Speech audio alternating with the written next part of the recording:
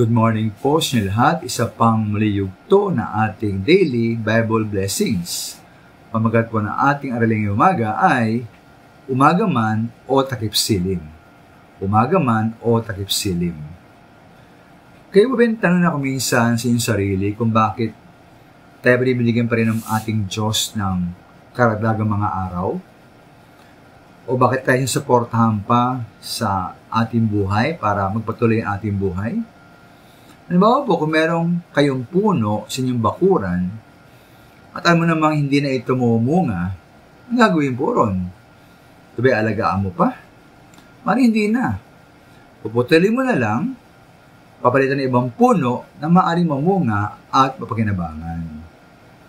Para po sa akin, tayo po hinayaan pa ng Diyos na mabuhay dahil sa kanyang palagay, meron pa rin tayong magawang pakinabang para sa kanyang kalawalatian. Ngunit kapag dumating ang panahon, talagang wala na tayong pakinabang sa Diyos, baka tayo matulad po doon sa puno sa Luke 13 ng Biblia. Na kapag patuloy na wala tayong bunga, tayo maaring putulin na lamang ng Diyos dahil nakakaskip lamang tayo. Pero nga po sabi ng Panginoong Yesus sa John chapter 9 verse 4, sabi niya po roon, kailangan gawin natin ang mga pinapagawa na nagsugo sa akin habang umaga pa. Malapit na ang gabi at wala nang makakagawa pagsapit niyon.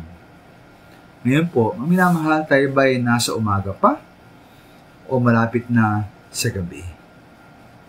O maminatoo po yan, no? darating ang gabi sa bawat buhay ng Kristiyano. Mari ito ang gabi ng katandaan, ang yugto na ating buhay na may paglabo ng mata, pagpurol ng paikinig, panghina ng mga binti at braso, at pagkupa sa kayahan ng ating pag-iisip. May ito po ang gabi ng sakit o karamdaman na magagapos sa atin sa higaan o ang gabi ng kamatayan na permanenteng magawakas ng lahat ng pagkakataong maglingkod tayo sa ating Diyos sa mundong ito. Naman atong huwag sayangin kahit ang ating kasalukuyang takip silim. Lalo na, bawat pagkakataon sa naitirang umaga na ating buhay. Maraming salamat po.